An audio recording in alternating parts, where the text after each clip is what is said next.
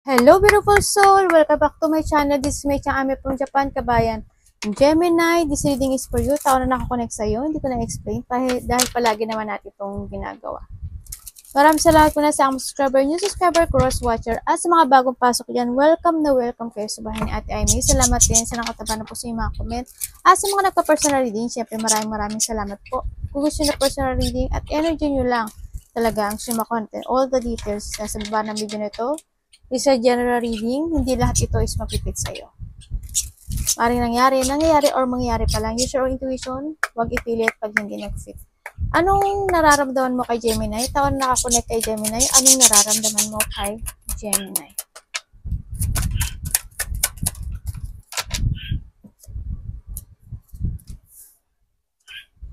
Bakit? Malungkot to. Stress to. Naalala ka niya.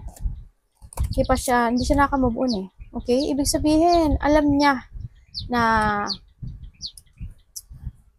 alam niya ngayon na you're starting a new life sa buhay mo. Handun na rin yung um, you're enjoying your life when it comes sa maaring sa iba sa inyo, yung sarili mo, maaring ganun. Nagkaroon ng iba dito, there's a third party or nagkaroon talaga ng sitwasyon ng hiwalayan dito, no, sa nakita ko dito. At ngayon, unti-unti kang nagpupunlang muli sa sarili mo at nakita ko na um, nag-move on ka na, no? Ang nakikita ko dito. Uh, may mga unti-unti ka nang na-achieve sa buhay mo, no? Andun na yung prosperity, you're very stable, and nakita ko naman na yung happiness. No, nakita ko naman yung um, nagkakaroon, may mga sitwasyon na, na inala, inanalyze mo or nagkaroon na ng mga progress to move on sa nakita ko sa iyo. Yun ang sinasabi niya. Nararamdaman niya na you're move on. You are moving on na talaga. At, at siguro siya na lang din ang hindi nakaka-recover sa ngayon sa nakita ko dito kasi eto siya ngayon. Ando na talaga na nagkaroon na ng withdrawhan or nagkaroon na ng kalimutan no dito sa sitwasyon na to. Nararamdaman niya na you walk away sa landas niya at mas pinili mo tinahanap mo o hinahanap mo na yung sarili mo o yung mga situation na nakakapagbigay sa'yo ng fulfillment in life. Ano ang iyong intention kay Gemini? Taon na ako ni kay Gemini? Ay,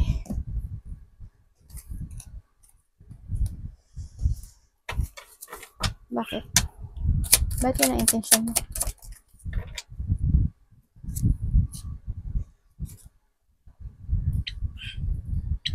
Intention niya sa'yo is gusto niyang ayusin um, itong situation na to sa nakita ko sa kanya. Hindi yung deillusioning or gusto niya ayusin yung nasira sa nakita ko dito. Yes, um, na-feel niya ano eh, na parang may mga sitwasyon siya na hindi niya ma-accept eh sa nakita ko dito. Siguro kasi ito ka na ngayon eh. No? Yun ang hindi niya ma-accept na na nagmumove on ka. Hindi niya inakala na na, oh my God, si Gemini, nag-move on na sa sarili niya. Hindi niya in-expect yun na makakaya mo mag-move on. No? And then ngayon, gusto niya ayusin itong sitwasyon na to. Pero ang nakita ko sa niya is may pagsisinungaling. No, sa nakita ko sa niya, may pagsisinungaling. Andun pa rin yung hindi niya ma-accept na you break, you break up, na wala na kayo.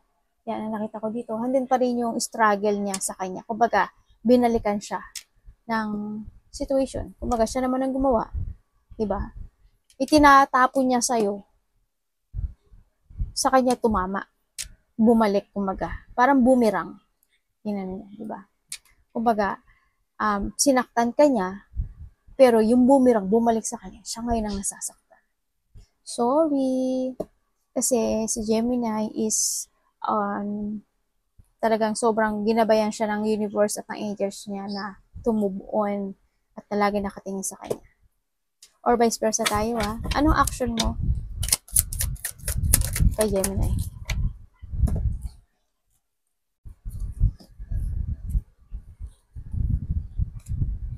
Bakit?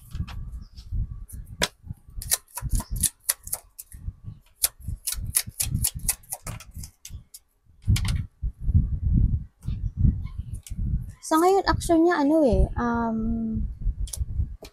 andun yung sadness. Ah, syempre gusto niya, gusto niya ng collaboration eh. Gusto niya uli, gusto niya kanya kausapin. Gusto niya magkar gusto mag gusto, as in gusto niya ng partnership sa iyo, pero ang nakikita ko sa kanya um totally hindi siya na hindi siya pa nakaka-move on sa iyo. Hindi niya lang alam kung kailang kung tatawagan ka niya, iti-text ka niya, kakausapin ka niya. Hindi niya alam. As in, may sadness ako nakita sa kanya. Um, hando sa situation na nawawalan siya ng lakas ng loob para harapin ka at para kausapin ka. Parang sinasabi niya na parang this is not the time siguro na kailangan kong harapin si Gemini kasi um, wala akong kayang ipagmalaki sa kanya. Kaya na nakita ko sa kanya. Wala akong, hindi ko kayang ipagmalaki yung sarili ko kasi wala ako. Kumbaga, hando yung sitwasyon na maaring itong taon na to is either hindi siya ganun kasakses sa buhay niya or itong taon na to hindi niya naibigay yung inaasam mo para sa kanya. Para sa relationship niya. Ganun. Kaya hindi niya rin maiharap yung sarili niya sa'yo. Kasi alam niya na wala na yung ano, wala na wala na yung sigle, wala na yung wala na yung pag-aasam na kayo no sa nakita ko dito. Kaya sa ngayon um day posing, nag, nag post muna siya kasi hindi siya sa decision ng buhay niya na nagkakaroon siya ng option kung ilelet ko kanya o kailangan na niyang mag-move on sa sarili niya. Yun, may mga doubt ako nakikita sa kanya. Tingnan natin, Gemini, ano ang iyong nararamdaman sa tao na to? Gemini, ano nararamdaman sa tao na to?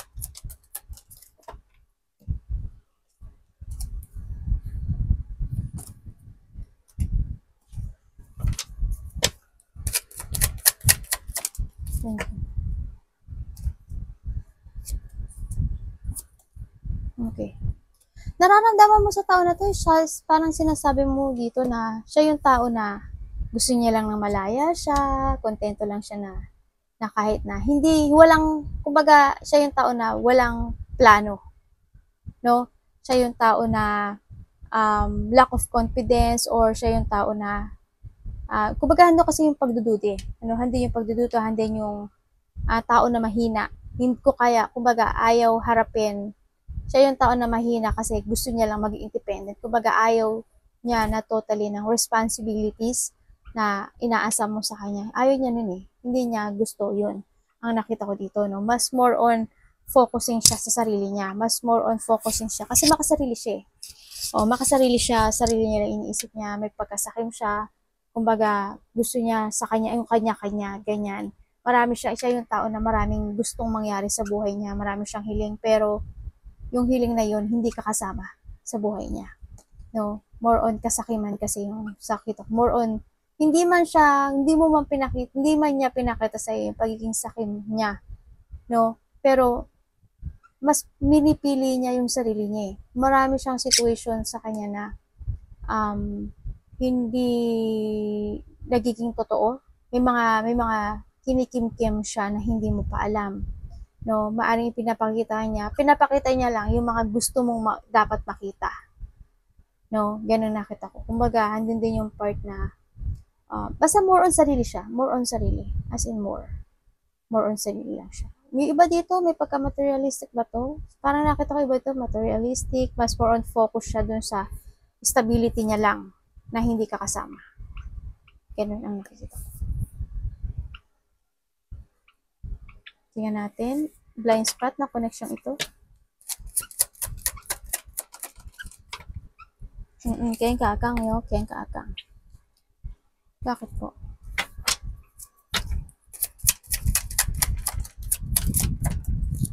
May pagka-salbahe po, no?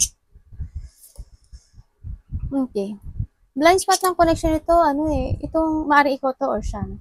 Itong tao na to, ano siya eh, more on, um, sarili niya eh, sarili niya iniisip niya eh. Mm-mm, sarili niya. Tsaka, talagang sakim, sarili niya lang, um, tsaka, hindi yung malakas ang loob niya when it comes sa kasakiman. when it comes sa mga inaasam niya sa buhay. Sa nakita ko dito. Nung itong tao na to as in. And then,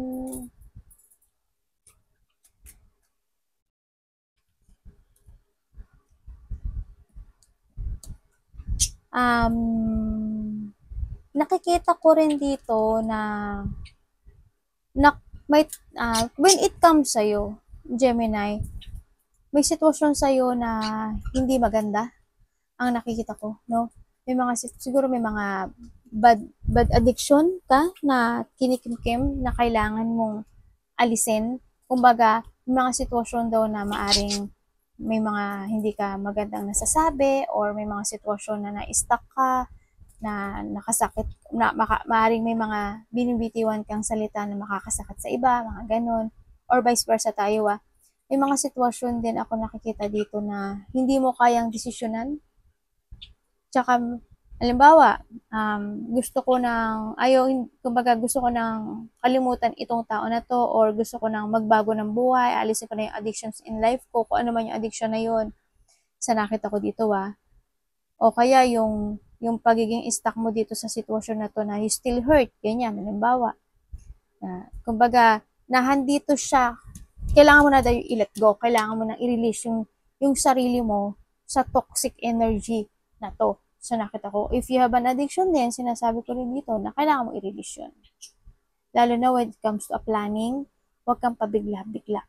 Kailangan mong you need to plan very carefully lahat ng dapat mong gustong mangyari sa buhay mo no para para um hindi ka rin mag-mess no sa nakita ko dito tsaka lakas ng loob to chase your dreams din make a new beginning and then yun nga um i-release mo yung sarili mo sa mga toxic person energies yung mga situation na nakakapagpapa nakakapagpapa-change sa'yo sa iyong best version, mga ganon, sa nakita ko to. Don't control yourself na ma-under ka ng ibang tao. Isa rin yun sa nakita ko dito. Kung kailangan mo magsalita, magsalita ka. Huwag mo lang kimkimin yung mga um, situation o mga nararamdaman. Huwag mo lang kimkimin yun. Magsalita ka rin. No? Sa nakita ko dito. Pero you need to be careful sa pagsasalita kasi mas maganda rin na in a good way mo siya sasabihin, if ever. When it comes dito, maaring may mga karelasyon kayo na sogolero, sinungaling, babaero, lalakero, materialistic, palain mo ng alak, may addiction, baka ikaw may addiction ka na kailangan mong i-release, yan, diba? Yan, nakita ko. Tingnan natin ang iyong energy.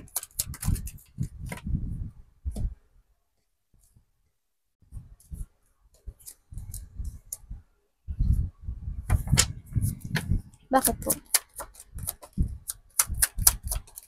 Thank you. Okay. Energy mo this, ano, ah, September, nakita ko naman na, yes, ano ka naman, you're still fighting for yourself. You choose yourself. Then, sa nakita ko sa'yo dito. And, handun na rin yung, nagkakaroon ka na ng mga strategy, mga bagong plano. You, you are awakening. Nandun na awakening and you abandon it. Itong foundation na to, sa nakita ko dito, withdraw mo na at hinahanap mo na, o maaring nahanap na mo na, na nahanap mo na yung sarili mo yung mga nakakapagbigay sa ng fulfillment, ganyan, maaring may mga nilet go or winidraw ka na, nag, nag, umalis ka na sa mga sitwasyon na na-disappoint ka at, at sobrang deep mo, tsaka ah, ang dami mo na rin battle na naranasan in the past. Kaya nakita ko dito yung awakening mo na you need to, ay, nandun na yung fighting. Fighting sa mga hamon ng buhay. And pinili mo na yung sarili mo. Basta focus ka na sa sarili mo. Kumbaga, meron ka ng pananaw ngayon sa buhay mo, no? Sa kinabukasan. Nilet mo na rin yung nakaraan, yung mga na, in the past, and then, andun na rin yung you learn, no? Or you need to learn from the past din. May marami ka na rin natutunan, tsaka, ah, also, life change sa mga decisions, tsaka transformation din. Advice po, energy, ah, energy universe. Kay Gemini.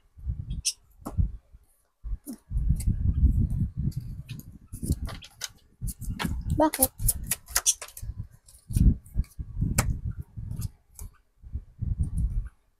Okay. Hmm! Ay, ang kilo-kilo ko. Kilo, oh, di anak. Napatay. Oh. Gawin, gawin.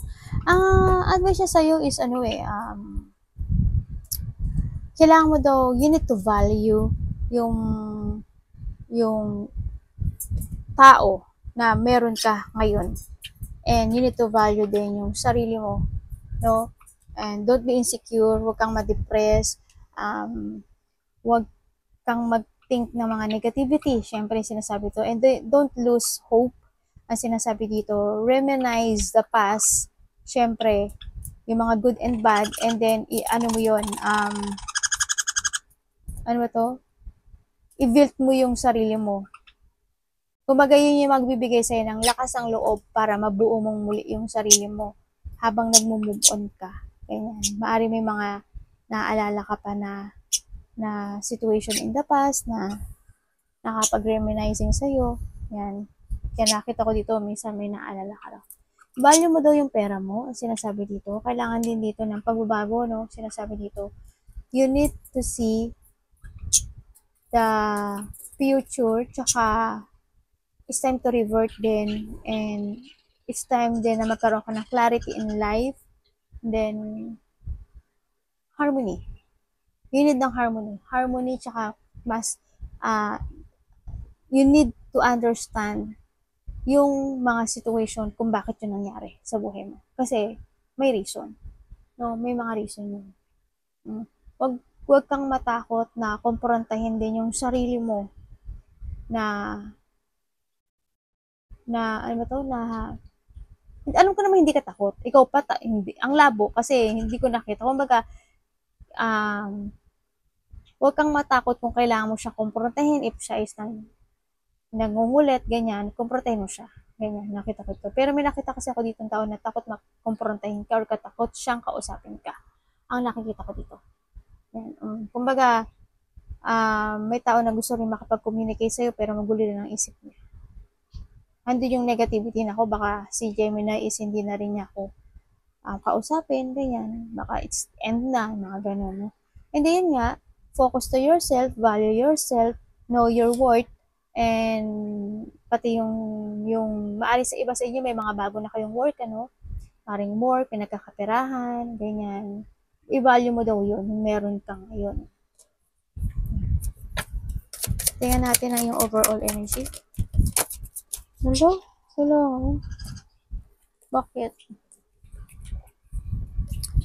Bakit po?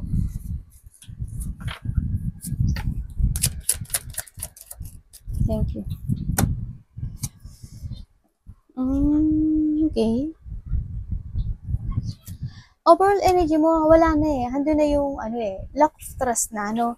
Lack of trust na, hando na rin yung wala na yung feelings, and then, na mas more kang naging strong sa ngayon, nakikita ko sa'yo, and you follow your heart in a good way, no? Sinusunod mo na yung totoong nararamdaman mo na kailangan mo baguhin. Wala na, nagkakaroon na na ano dito, no, wala na yung ano, lack of trust na eh. No, if ever na mayroon pang in the past, wala na yung trust na yun. Sa nakita ko dito. Ando na rin na bilak mo rin to kasi wala na. Ando na rin yung disconnected na kayo, and then, yung energy mo rin dito is, may mga sitwasyon pa rin ako nakita na nag-unfulfill or frustration. Ako nakikita sa'yo. May mga sitwasyon pa rin na hindi mo siya ma-achieve. Uh, may mga sitwasyon na hindi ka makukontento pa sa ngayon. Kasi siguro may mga unfinished business ano sa iba ang nakita ko. And yung sinasabi lang naman dito, you need to be strong. No, you need to be strong and yun nga, huwag kang mag-guilty or don't hate yourself or magkaroon ka ng doubt. Lack of trust, o wala ka ng trust sa mga tao na nakapagbigay sa iyo ng hurt or pain. No? Sa nakita ko. Anak pa ba muna? Yan, baka may mga frustration pa rin ako nakikita or emotion. No? Sa nakita ko dito. May mga sitwasyon na madidrain ka pa rin.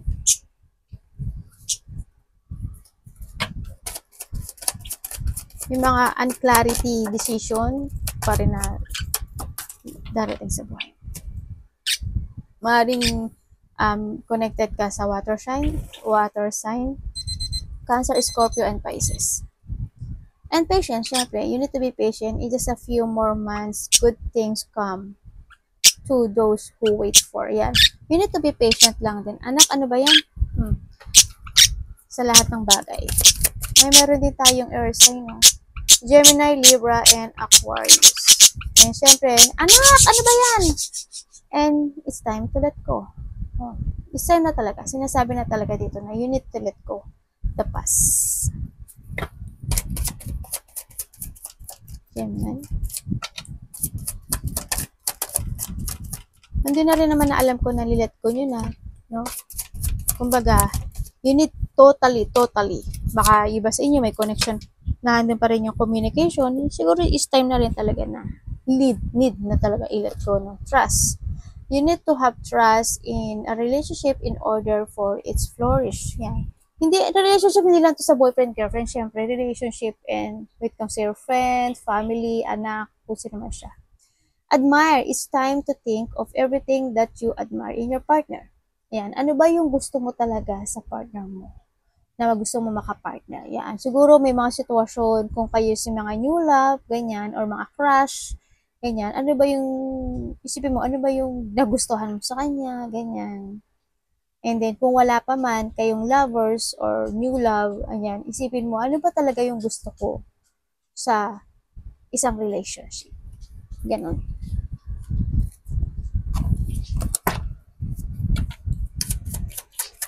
Message. Thank you. You and I were too young. My life is not at not as together as if it seems. Yun, that is a message for you. Arigato namaste. God bless.